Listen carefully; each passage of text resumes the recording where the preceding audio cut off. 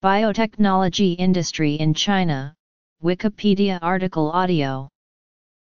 China has seen double-digit growth in its biotechnology industry and has gone from being one of the slowest to one of the fastest nations in the adoption of new biotechnologies. The biotech sector is seen in China and internationally as a core area of national scientific and economic development. The main national biotech body in the country is the China National Center for Biotechnology Development. The CNCBD is an organization established on November 3, 1983 under the Ministry of Science and Technology with the approval of the State Council.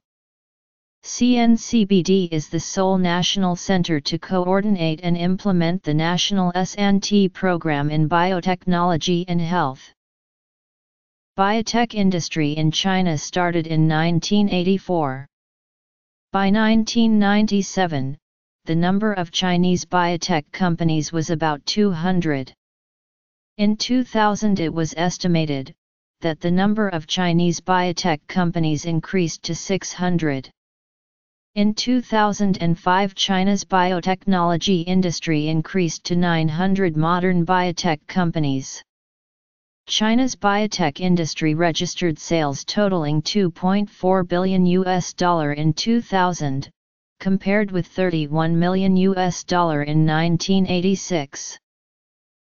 Industry Development factors China's biopharmaceutical industry is gradually expanding due to such favorable factors as China's rapid economic growth, people's higher income, an increasing understanding of and demand for biopharmaceutical.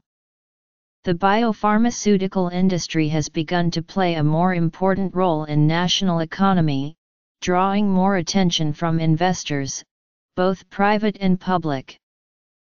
With the improvement of the healthcare system and people's rising awareness of disease treatment, more non-conservative treatment methods are used in clinical treatment, which has promoted the development of blood products. Currently, blood products frequently used in clinical treatment include over 20 types, belonging to such three subcatalogues as human serum albumin, immunoglobulin, and coagulation factors. The demand of charged vaccine has increased dramatically with the rising consumption power and health awareness of people so that charged vaccine market is expanding rapidly. Charged vaccine as a supplement to free vaccine program has promoted the rapid growth of domestic vaccine market, the external diagnostic reagent is becoming familiar with people owing to people's deeper understanding of catalogs and curative effect of biological drugs. Nowadays genetic drugs and antibody drugs are replacing the chemical drugs which have many side effects to cure the cancer patients, and this will bring more opportunities for cancer patients to survive. The import and export volume of China's biopharmaceutical products was $377 million in 2007, increased by 48% as compared with last year. The import volume reached $336 million, increased by 51% as compared with 2006, and the export volume was $41 million. The growth rate of export volume in 2007 had declined from the level of 58% in 2006 to 26% in 2007. Although the export of China's biopharmaceutical industry constantly kept a high growth rate, the volume is very small compared with the import volume. Healthcare the export volume was only $41 million in 2007 whereas the import volume added up to 336 million US dollars. This sharp contrast indicated that China's biopharmaceutical products accounted for a very low market ratio in international market.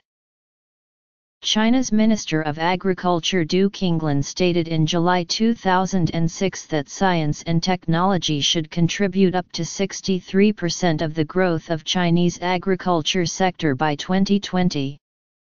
The minister outlined five areas that will be the focus of China in attempt to take advantage of biotechnology in agriculture, including GM cotton and rice, safe farm products, agricultural equipment, and research institutions.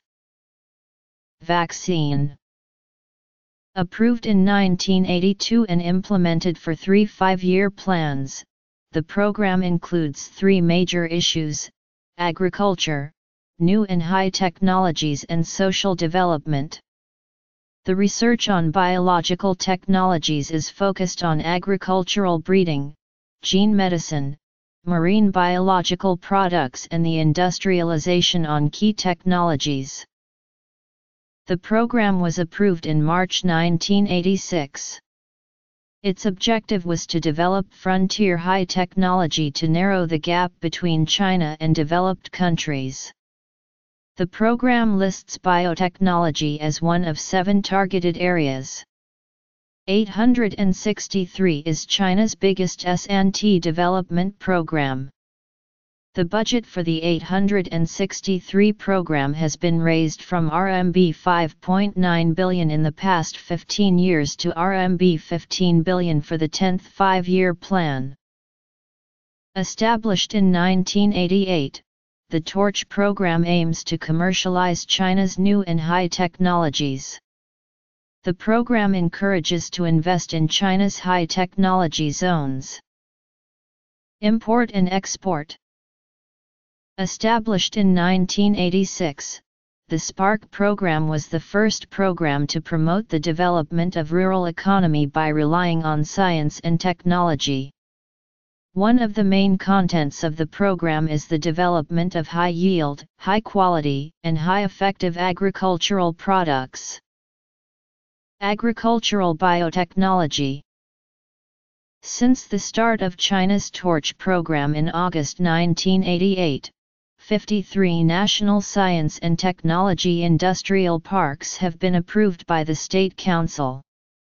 By 2000, there were altogether 20,796 enterprises in the STIPs.